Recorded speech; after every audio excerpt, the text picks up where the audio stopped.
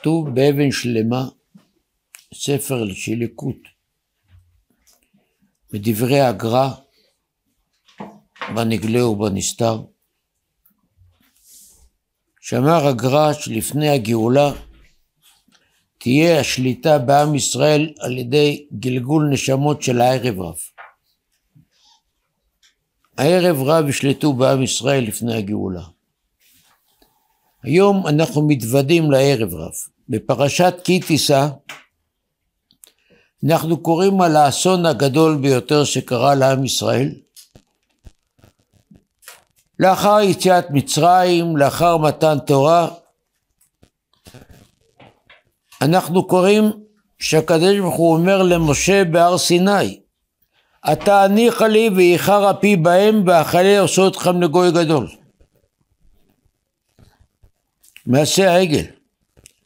הקדוש ברוך הוא אומר למשה בהר סיני, סרו מהר מן הדרך אשר ציוויתים, עשו להם עגל מסכה, והשתחוו לו, ויזבחו לו, אמרו אלה אלוהיך ישראל אשר העלו לך מצרים. מה זה אלה? העגל הזה עשיתם אותו לפני עשר דקות. מי, מי עשה את זה?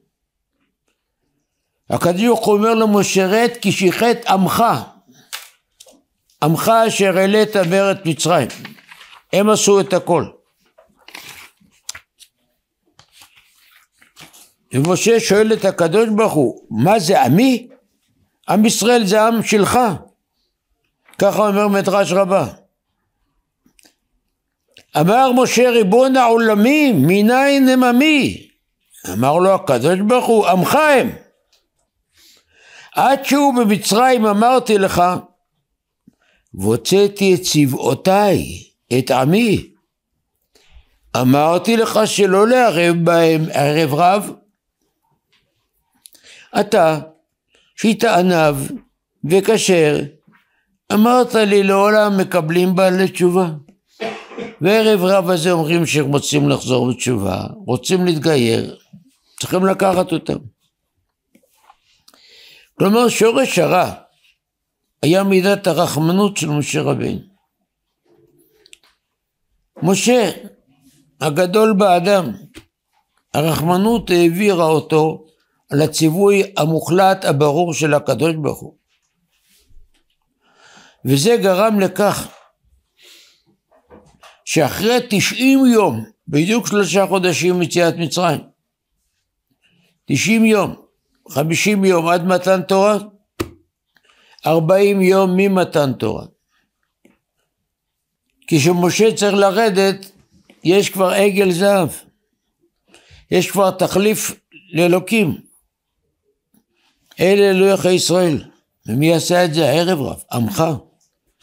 עמך אשר העלית מארץ מצרים. כלומר, הם היו שורש הפורענות. להתקוממות. התקוממות שהתחילה ברצח. משה לא היה. את מי משה השאיר להנהיג את עם ישראל? את צדיק הדור.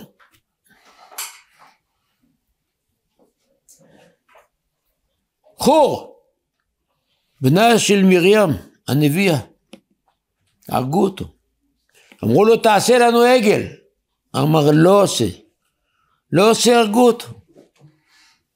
אז הלכו לאהרון, אהרון פחד שהרגו גם אותו. הוא עושה להם את העגל. אבל מי בעלי היוזמה? לא שעם ישראל היה נקי מעוון, העוון שלהם היה שהם לא התקוממו, שהם עמדו מהצד. ראו כאן מאבק בין בורא עולם לבין כל האספסוף הזה. כתוב בחז"ל שהערב רב היו יותר מעם ישראל, ערב רב! כן, עם ישראל מודיע, הוא הולך לצאת ממצרים, אה, הולכים לשחוט שא, כל המצרים ימותו מכת בכורות הוא והם יצאו. באו הרבה הרבה טרמפיסטים. במצרים היו מיליונים מיליונים של אנשים שהשתעבדו בהם, לא, לא רק ביהודים. כמו דרכם של כל הדיקטטורות בעולם, מה אתם חושבים? רוסיה הסובייטית, המדינה הכי רחמנית בעולם, הנפצעת הקומוניסטית. היו מהדיקטטורים הכי גדולים, הנצלנים, הכי גדולים בהיסטוריה האנושית. כל העמים כולם שהיו תחת הדגל האדום, הם מצצו להם את הדם. הריב עם אוקראינה לא התחיל עכשיו. זה התחיל בימי סטלין. לא היה מספיק אוכל, הם לקחו את כל האוכל של אוקראינה לרוסיה, ומתו חמש מיליון אוקראינים ברעב. מכאן כל השנאה הגדולה. זהו. מה שהיה הוא שיהיה. אם כן המצרים השתעבדו במיליונים מכל העמים, והם תפסו טרמפ על עם ישראל. השם רצה לעצור, אבל משה ריחם עליהם. נו, אז אנחנו עכשיו קוראים מה הייתה התוצאה. הקדוש ברוך הוא אומר למשה, אתה קראת להם ולא התייעצת איתי, לא קיבלת את דעתי. רד כי שיחת עמך. ערב רב שקיבלת מעצמך וגיירתם ולא המלכת בי. אמרת טוב שידבקו גרים בשכינה, הם שיחתו והשחיתו. בכל זאת אנחנו עדים לטרגדיה הגדולה שקרתה בעם ישראל. הסר ידיך מעליך. משה שבר את הלוחות, מעם ישראל נלקחו הכתרים של נעשה ונשמע, שבר שלא יתרפא מעולם. כתוב בגמרא, אם היו נשארים לוחות הראשונים, או הייתה תורה אחרת לגמרי. אם היו נשארים בדרגה הרוחנית של הר סיני, עם אחר לגמרי. התרסקות שלא זכתה למרפא מוחלט, מרפא חלקי ביותר על ידי הלוחות השניות.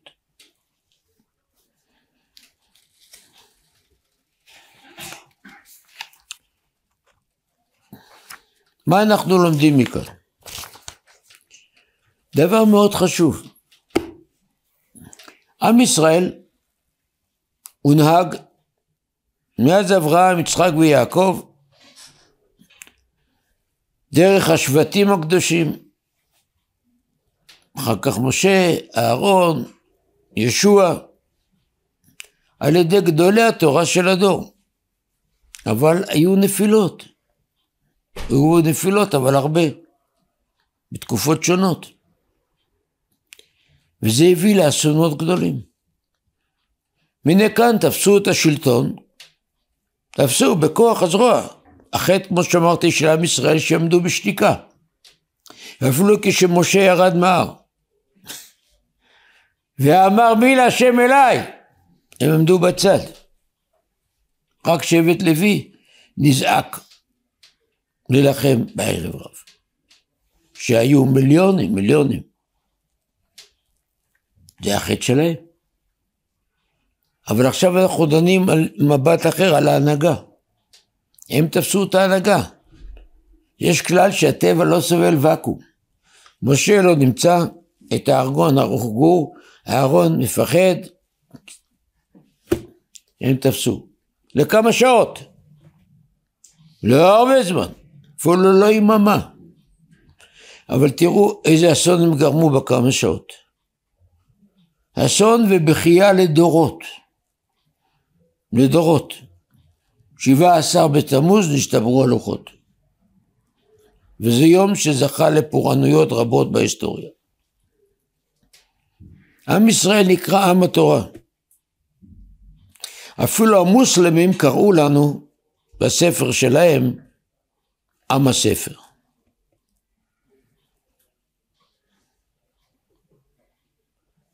אלה היו גדולי התורה שבכל הגלויות. ובכל מקום ובכל זמן ששמעו להם, הם הובילו את עם ישראל בדרך הישרה, בדרך הטובה, בדרך לבורא עולם, לעבודת השם. אבל אנחנו קוראים בתנ"ך כבר, מלך אחד רשע, אחד צדיק, אחד בינוני, האונייה מיטלטלת. גם במלכות יהודה, גם במלכות ישראל. התורה, התנ"ך הם הספר היחיד בהיסטוריה, בעולם, שחושף את האמת על כל מצביה הטובים והרעים. אין שם צנזורה, כמו אצל כל הדתות, ולא הדתות עד היום. עד היום. כשכל העיתונות השמאלנית מכסה את כל פשעי השמאל ומייצרת ויוצרת ומפרסמת את מה שלא טוב אצל הגורם הנגדי. התורה היא לא ככה, היא אמת. ואנחנו רואים את כל המצבים. גם את המצבים שהביאו אחר כך לחורבן הבית הראשון. כשיצרו להם נביאי שקר, כשנביאי האמת, ירמיהו, ישעיהו ושאר הנביאים הקדושים, אמרו יהיה אסון, יהיה חורבן, שעון החול אוזל, שובו בתשובה. קמו אותם נביאי שקר ואמרו שקר אתה דובר לירמיהו.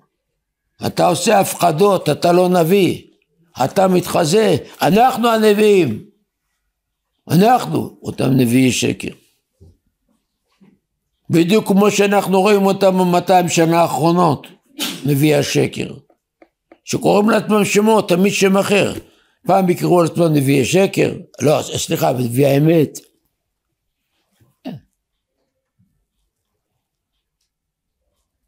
פעם יקראו לעצמם צדוקים, פעם יקראו להם משכילים, לא משנה השמות.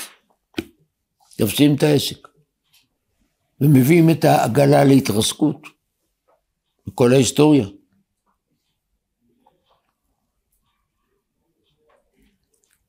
ובו זמנית, כי לא יטוש השם את עמו, שלא תהיה טעות. לא יטוש השם את עמו ונחלתו לא יעזוב. העמיד להם הקדוש ברוך הוא לישראל אנשי אמת, גדולי תורה, גדולי מוסר, גדולי יראה, קדושים וטהורים. שמי שרצה לשמוע להם, המשיך באותה דרך, בין אם היו רבים או בין אם היו מעטים. וההיסטוריה פרוסה לפנינו, וניתן לראות מי הצליח. בשעתו דיבר הרבי מצאנז עם ראש הממשלה באותה תקופה לוי אשכול. אמר לו ככה, תראה, אנחנו הרבנים מנהיגים את עם ישראל שלושת אלפים שנה. היו בעיות, קצת פוגרומים, קצת מלחמות, אפילו צרות, אבל קצת. אתם לקחתם את השלטון רק לפני ארבעים שנה, וכבר הבאתם שואה שהרגה שליש מעם ישראל. אתם עשיתם אותה. במשמרת שלכם זה קרה. על פי הדיסציפלינות שלכם זה היה. הנחתם תיאוריה שאם אנחנו נדמה לגויים נאכל שרצים ושקצים ולא נשמור שבת וכן הלאה וכן הלאה. נגלח את הזקן והפאות נהיה תואם IBM, תואם גויים. אז יהיה שלום. אנטישמיות תיפסק, שנאה לא תהיה. הנה אמר לו ללוי אשכול אז מי צודק, אנחנו אתם? מי הביא אסונות גדולים יותר על עם ישראל, אנחנו אתם?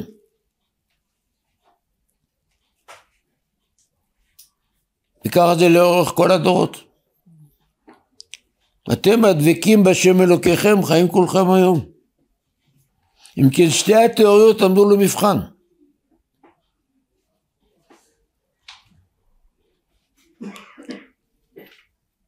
ולצערנו זה קורה גם במאה השנה האחרונות בארץ ישראל. שבאו לכאן אנשי התיאוריה האדומה מרוסיה, החל בעלייה השנייה, וניסו להקים כאן מדינה קומוניסטית. שלא תהיה טעות, ככה זה היה. והחלו במלחמה בדיוק כמו סטלין נגד כל שומרי התורה והמצוות. כי על פי האידיאולוגיה השמאלנית המטרה מקדשת האמצעים. כשהם התחילו לצעוק, הרצח הפוליטי הראשון, איזה סהרורים, כיפה, הרג את רבין. אמרתי להם, רבותיי, בדיוק שנה לפני שנולד רבין, 1924, אתם רצחתם את דוקטור יעקב דהן. אתם. לא איזה סהרורי. אתם רצחתם אותו באמצע הרחוב, רחוב יפו. לא איזה תימהוני. מפקד ההגנה בירושלים. דרומי. על פי ההחלטה שהתקבלה על ידי ההנהגה של ארגון ההגנה. בבית של כל המפקד, יצחק בן צבי, לימים הנשיא, באשתו רחל ינאית. אתם. על פי הוראה של בן גוריון, שחתם על זה. אז אתם תבואו לדבר? אני קראתי בשעתו וידוי של זקן זקן, בן 94 היה.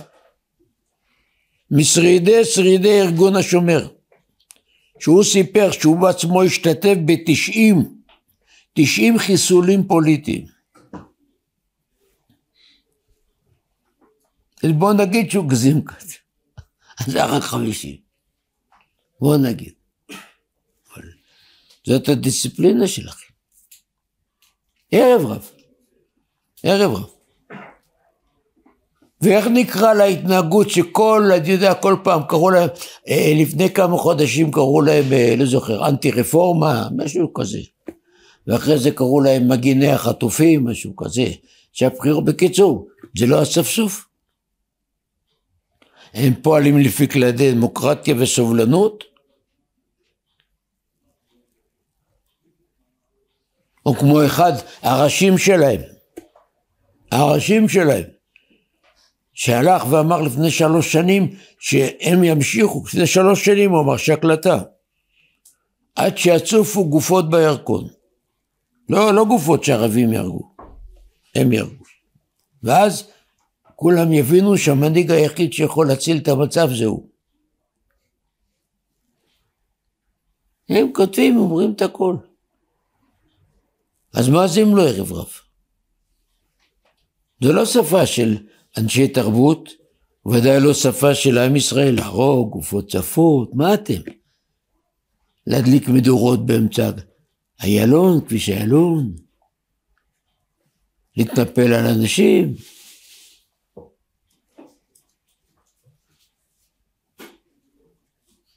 וכמובן המנהיגים מתקפלים, קוראים לזה סקר דעת קהל, אין להם בכלל למנהיגים חוט שדרה. זאת בניגוד למנהיגים של תורה. מנהיגים של תורה קובעים את האמת, מי שרוצה ישמע, מי שלא רוצה שיעשה מה שהוא רוצה. הם לא כפופים לדעת הרחוב, לשלטון ההמון. לא עושים משאלי דעת קהל, למה? כי הם לא נבחרו בבחירות ולא בפריימריס, וגם לא ידיחו אותם.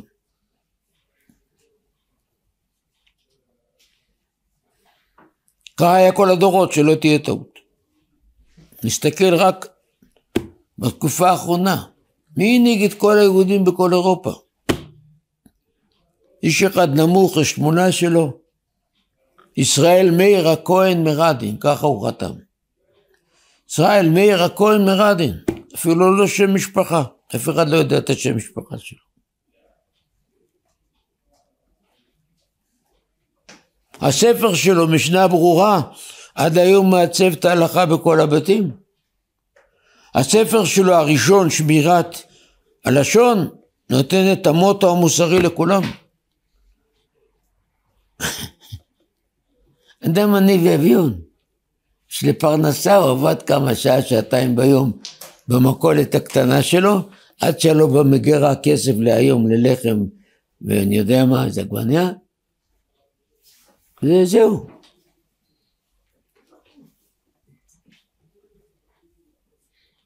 לא הייתה לו הסמכה לרבנות. לא היה רב לא של מושב ולא של כפר ולא של עיר. ולא אב בית דין ולא ראש ישיבה. בתורה זה לא נחוץ. אז למה כולם שמעו לו?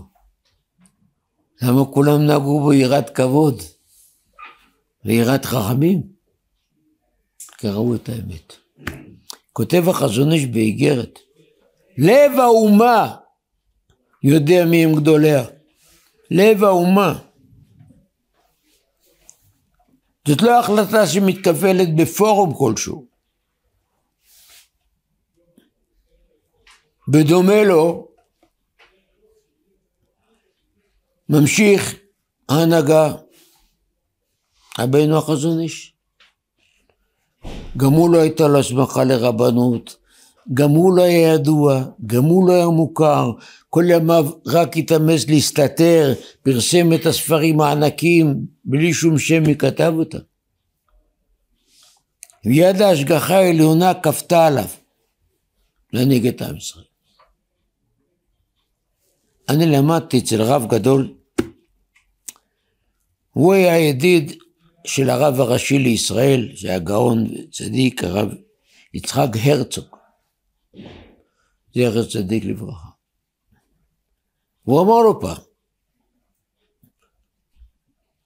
אנשים חושבים שאני הרב הראשי, יש לי לשכה, צוות, אה, רכב ממלכתי, שאני מנהיג של עם ישראל, זה לא נכון.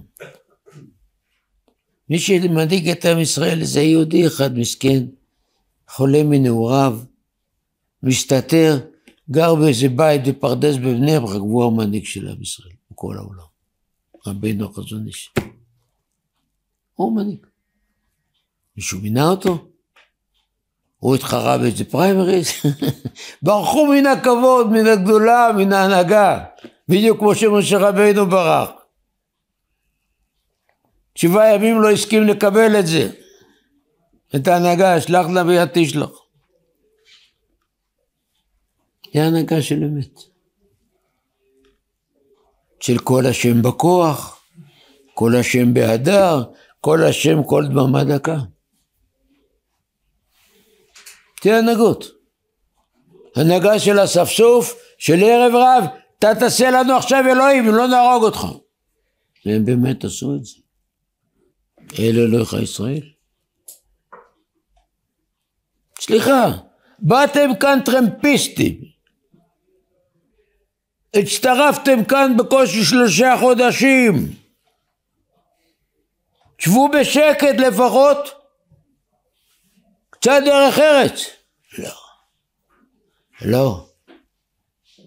הרצחת וגם ירשת. השתלטו. אותו דבר כאן. חיו כאן 650 שנה יהודים שומרי תורה ומצוות בכל הגלויות, ממזרח וממערב, מצפון ומדרום. באתם לכאן, מה אנחנו אינדיאנים שתהרגו אותנו?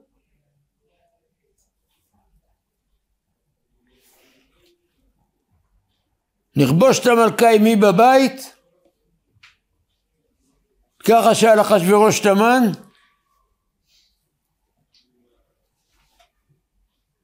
כן, כי אצלכם זה הכל מכוח הזרוע.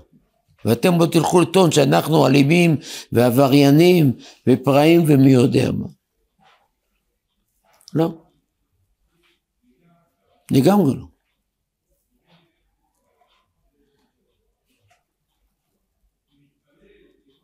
של החרדים הכל נעשה ביישוב הדת.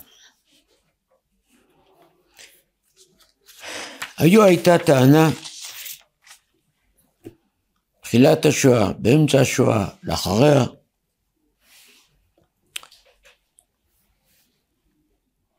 שלמה קרתה כל השואה? כי גדולי התורה לא נתנו ליהודים לעלות לארץ ישראל ואסרו עליהם, אבל אם היו מתירים, ואם בארץ ישראל היה הרבה יהודים, לא הייתה קורית שואה.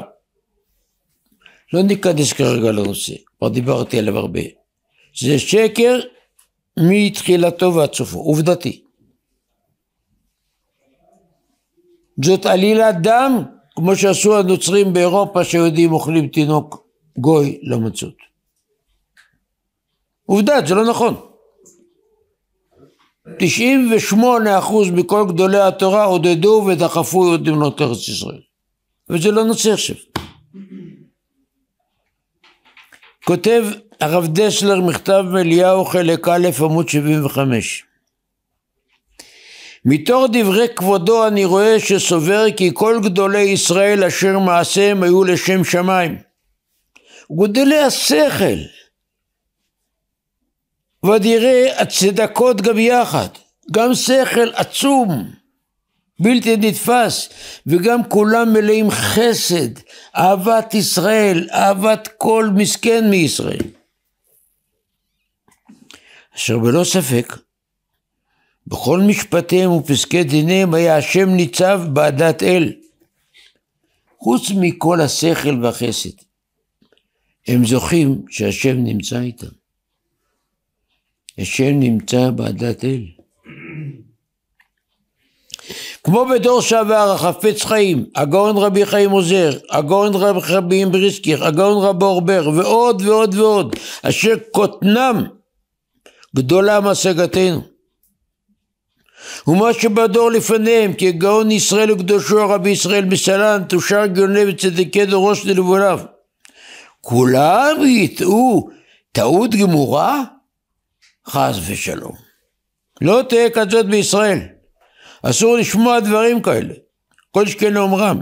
אם לא הבנתי, אם לא שהבנתי אשר שמע מאחרים, ככה הוא כותב במכתב לאותו יהודי, הנקראים בני תורה.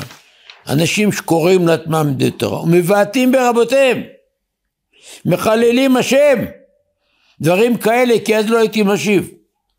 אני דן אותך לכף זכות שאתה בן אדם תמים, שאנשים עם זקן, פאות, שקוראים לעצמם בני תורה, דיברו איתך את הדברים, הלשון הרעות האלה על צדיקי הדור.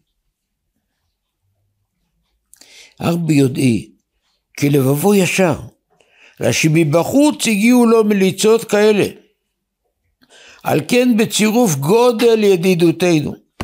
אמרתי אשים לילה כיום ואשיב לו דברים ברורים.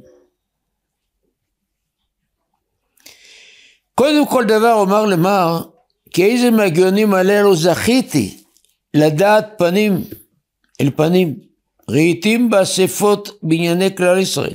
ככה כותב לו הרב דסלר. שחוכמתו הייתה מופלאה. כל מי שהכיר את הרב דסלר, מה זה? מלאך. אוכל לומר לו נאמנה, כי אפילו להשגת פעוטים שכמותנו, הן הייתה פיקחותם מבלת, עומק שכלם היה יורד ונוקב עד התהום ממש.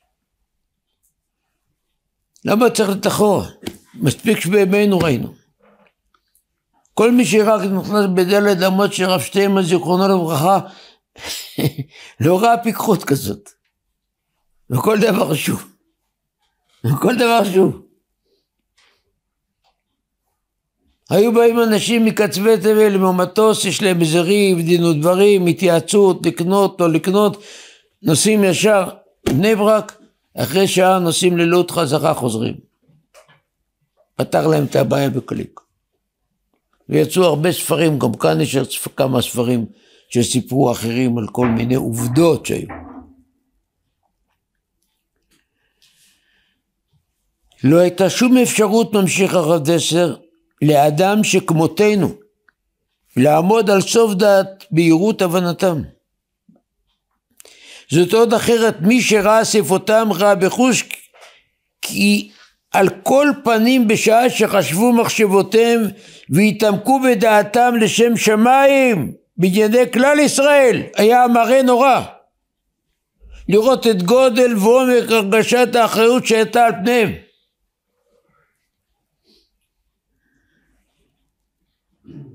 באופן שמי שלא ראה את זאת לא ראה הרגשת האחריות מימיו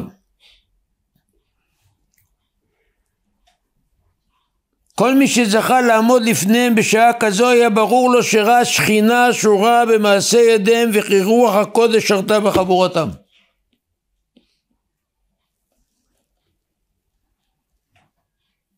לא כמו שאנחנו שומעים, ואני לא רוצה להזכיר שמות, של הדרגים הפרלמנטריים, הממשלתיים, הסודיים, שבהדלפות שיוצאות, הכל מלא עקיצות ובדיחות, שאחד דואג על השני והוא יגיד יום אז הוא יגיד לילה, אינטרסים ואינטריגות, מפחיד. כאן הפוך הפוך. גודל האחריות שמוטל על כתפיהם. האחריות שמוטלת עליהם, הם מרגישים את זה. ממש ראוי לומר, ממשיך הרב דסלר, המבדיל בין קודש לחול, על ההבדל שבין נסיפותיהם לבין האספות שאנו מורגלים בהם.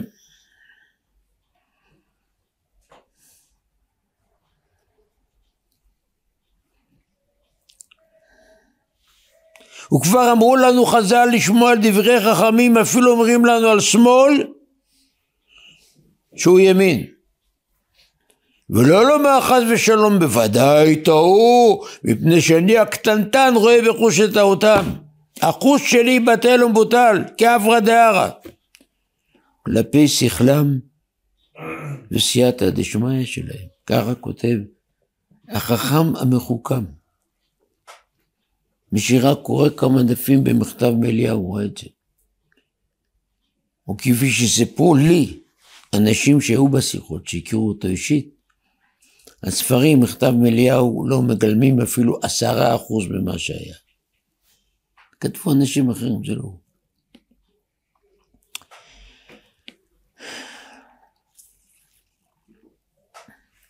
חיסרון הכרת ההתבטלות לעומת רבותינו זה שורש כל חטאת ותחילת כל חורבן רחמנא ליצלן.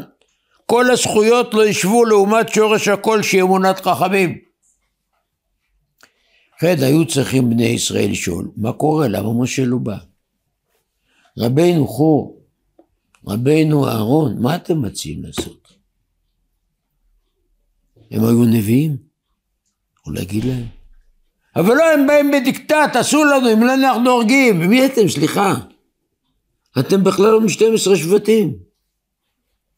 תגידו תדע שאתם אוכלים כאן בחינם כל יום. אתם אוכלים כל יומן בחינם, בזכות מה? שאתם מהאומה הזאת, מהאומה הזאת, מהמה היא? תפסתם עלינו טרמפ. לא, אנחנו לא קובעים. אתם נטל עלינו, הבנתם? אנחנו נכתיב כאן את העגל שיהיה, אם זה עגל מזהב, או עגל מנחושת, או עגל מזהב, ככה גם כאן אנחנו יודעים. באו לכאן אותם פורקי עול, עול תורה, עול מצוות, על הכל, והם הכתיבו לנו מה לעשות. מי יתגייס, מי לא יתגייס, מי, מי, מי נטל, מי שמטל, מה אתם בכלל? לא טוב לכם, תחזרו איפה שהייתם. מי היה כאן קודם? אנחנו לא.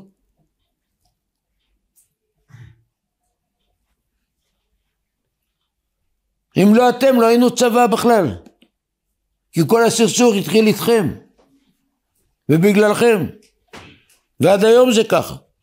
אחד מראשי עולם המוסלמי הכריז שבוע שעבר, אתם כאן הקבוצה היחידה כאן במזרח שלא מאמינה באלוקים ולא יעזור לכם כלום אנחנו נזרוק אתכם מכאן. הצהרה של אחד מראשי העולם הערבי. דוגרי, הם יודעים את זה. מה חיזבאללה לא אומר את זה כל הזמן נסראללה?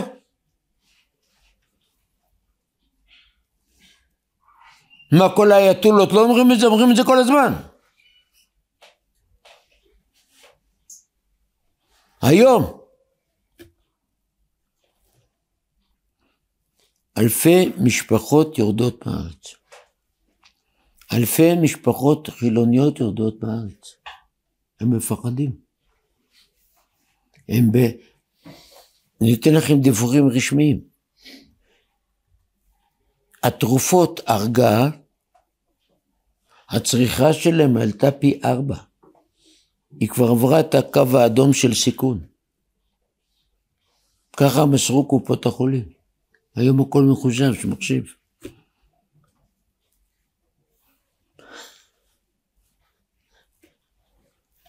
רק אתמול טיפל לי הבן שלי שהוא בשליחות.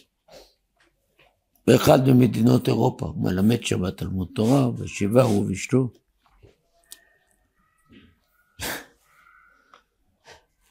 ששבועיים אחרי שהתחילה מלחמה, הגיע לעיר שלהם איזה משפחה מישראל, זה אדם חילוני, הוא וכל הילדים. ברח במלחמה, שלא יתפסו אותו, צו שמונה, צו תשע, משהו. אחרי חודשיים, כי טוב. הוא החליט שהוא משתקע שם, לא חוזר לישראל. המקצוע של הבן אדם הזה זה צלם. אז לפני שבוע, שבועיים, התחילו לארגן שם מסיבת סידור, שילדים מתחילים ללמוד סידור, אז עושים מסיבה. אז הם באו לצלם הזה, אמרו, אתה כאן חדש, בוא ניתן לך פרנסה, אתה תהיה הצלם של האירוע, של כל הטקס הזה, של מסיבת סידור. מדברים, מדברים, מקשיב, מקשיב. אחרי חמש דקות הוא אומר להם, רבותיי, בואו תעצרו. אתם כבר חמש פעמים חזרתם על המילה, מסיבת סידור, מסיבת סידור, מסיבת סידור, מסיבת סידור. כבר חמש דקות אני שומע אתכם מדברים גם, אולי תסבירו לי פעם אחת מה זה המילה סידור, אני לא יודע מה זה המילה הזו שאתם מדברים. מה זה שיהיה עכשיו? מה הייתי קורא את זה בעיתון, לא הייתי מאמין. הבנתם? איזה דור הם גידלו כאן? אז איזה סיבה יש לו להיות בארץ ישראל? רק בשביל לעשות מילואים? הוא לא יודע על קדושת ישראל, על עבר ישראל, על תורת ישראל, אפילו... שאלתי את הבן שלי, תגיד לי רגע, הוא אשכנזי או ספרדי? לי, אשכנזי? אמרתי לכן, נודע דבר. ספרדי אפילו שיכל לשבת, מה שאיש ספרדי שלא יודע מה זה מילה סידור. ככה זה. אתם מבינים איפה זה אוחז? הם בוכים. הם בוכים. לא רק שלא לימדתם אותם תורה, גם לא הסברתם למה אנחנו בארץ ישראל. מילא ביבי כאן אני מבין, בשביל ראש ממשלה. ויש גם עוד אחד שכדאי לו להיות נשיא, חילקו את התפקידים, אז חילקו את הג'ובים. היה כאן פעם אחת, אה, שר החוץ, שר החינוך, סגן ראש הממשלה. מתי שהוא יצא לפנסיה, כי רבין כבר לא נתן לו מקום בממשלה, אז הוא אמר, כאן זה מקום פרימיטיבי, קראו לו אבא אבן. ישראל זה באמת זה מדינה פרימיטיבית, לא מתאימה לרמה האינטלקטואלית שלי. אז מילא הייתי שר בדלת וחרה, אבל עכשיו הוא נסע למנהטן, שלחו לו את המשכורת, כל חודש למנהטן. ולא זו בלבד, אחרי זה המדינה, המדינה המטופשת הזאת נתנה לו פרס ישראל גם. ירק על הישראל בפנים וקיבל פרס ישראל. אז יש אנשים שחושבים שצריכים לשמוע על הרבנים, לגדולי תורה, רק בנושאים של ההלכה. אבל בנושאים של החיים, ככה, איך מנהלים מדינה, איך מנהלים עירייה, איך מנהלים חנות, כל זה לא קשור, כל אחד יחליט. החזון איש התייחס לזה.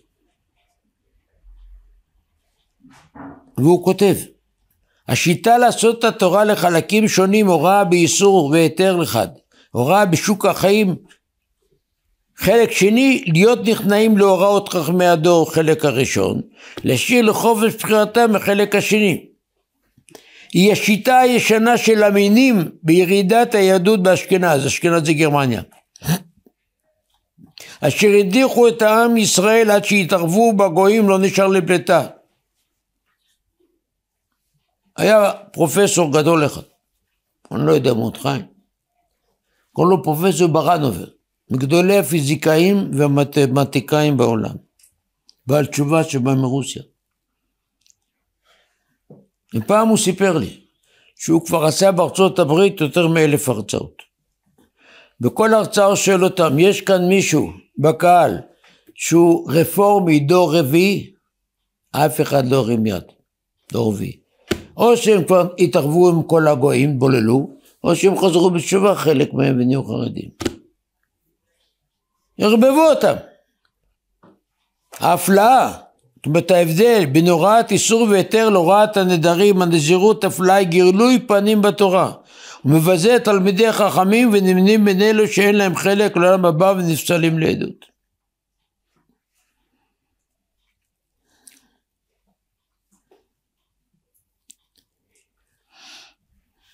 לכן אתם תראו שגם בעניינים של בחירות, מחר יש בחירות מוניציפליות, בכל עיר ועיר, בכל כפר וכפר, בכל מקום.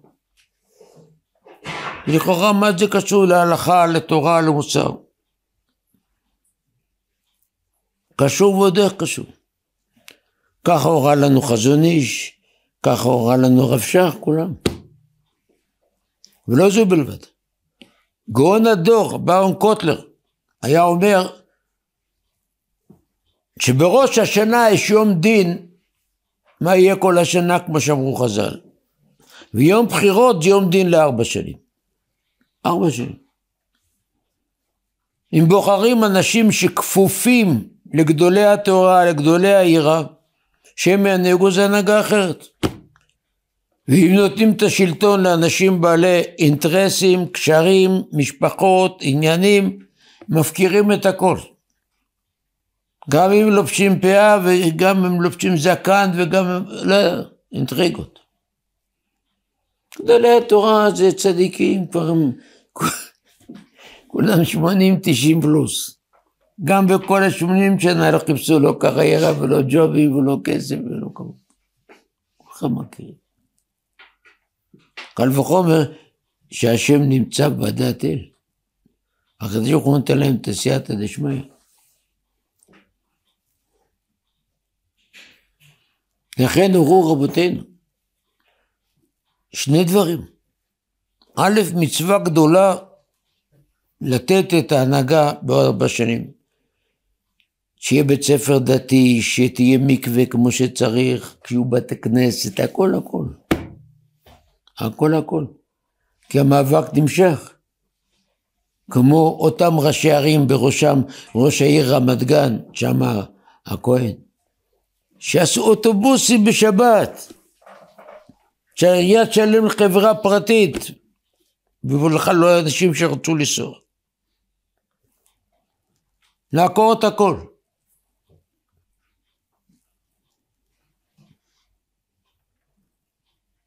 ואם יש אנשים שמונהגים על ידי גדולי התורה, ברור שהכל זה אחרת.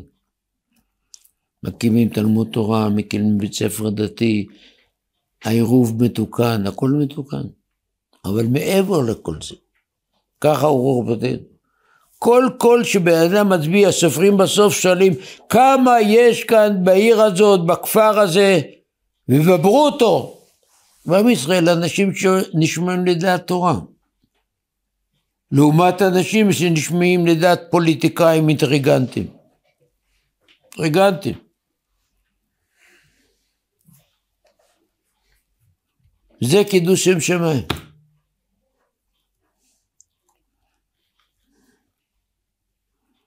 הבן שלי, שגר בווינה, אז לפני כמה, שתי בחירות, שלוש, שהיה מנהיג של עולם התורה, הרב גרשן אדלשטיין, הוא טלפן כאן לבן אחר, לאח שלו, לך תשאל לקברי שיר, אני צריך לעבור. הוא, לא, לא יכול לקבל חופש מעבודה, מהתלמוד תורה.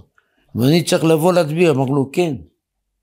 הוא בא בבוקר, הצביע וחזר אחרי צהריים לווינה. זה עלה לו רק 800 יורו. 800 יורו. הרבה מאוד כסף. הוא בא.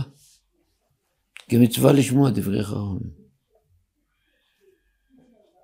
זה היסוד של התורה.